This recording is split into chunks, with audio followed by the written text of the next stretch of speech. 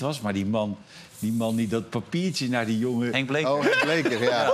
Ja. Dat kan altijd erger. Ja. Mauro was dat Met toen. dat papiertje Ja. dat hij naar het wedstrijdje van Ja. Twente kon. Ja. Ja. Och, Jezus Ja, dat zijn geen Christus, sterke wat- momenten. Dat, Nee. was, Nee. dat zijn geen lekkere momentjes, Nee, die, hoor. blijven, die blijven dan ook gewoon... Ja, dat, dan weet je gewoon de rest van je leven... Blijven dat, eh, blijf je dat gewoon hangen. Ja, dan je ook gewoon... eh, ja. Ja. Dat is zo. En die leuke dingen die je liet zien ook. Dus dat hoort er allemaal bij. ja. Maar je bent er helemaal vanaf nu, hè? Nu heb je Jullie krijgen trouwens de groet... Ik zag over toeterende Turken. De groeten van eh Toeter Jan.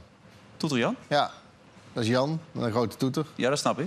Ja, en die vroeg me of ik jullie de groet wilde doen. Want Nou. die kijkt altijd. En die wilde heel graag een keer genoemd worden, zag ik op Twitter. Dus Toeter Jan heeft bij ons Die deze- loopt langs wedstrijden altijd met een hele grote toeter. Ja? Nee, het is geen Turk. Dus, eh, nee, hij heet Jan.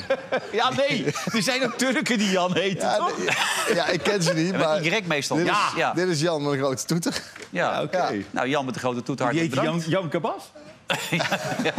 Dat is nou weer iets anders natuurlijk. Maar het is toch leuk dat Jan met de toeter ook even wat laat horen, toch? Zeker. Ja. Ja. Maar hij is niet in de buurt, hoor ik nu. Nee, je, kunt op Twitter, je kunt het op Twitter eh, zien als je wil zien wie het is. Dus Ja. die, die foto is het, had jullie ook getagd.